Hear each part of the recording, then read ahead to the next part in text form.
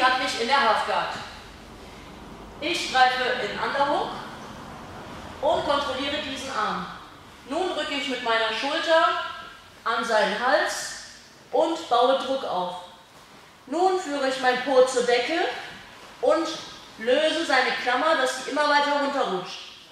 Jetzt drehe ich meine Hüfte und bringe das Knie zu Boden.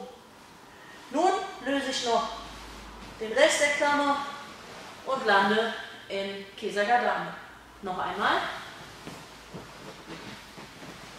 Halfguard, Underhook, Kopf zu Boden, Druck mit der Schulter in seinen Hals, kontrolliere den Arm, schüttle seine Klammer tiefer, bringe das Knie zu Boden und rutsche durch in Kesagadame.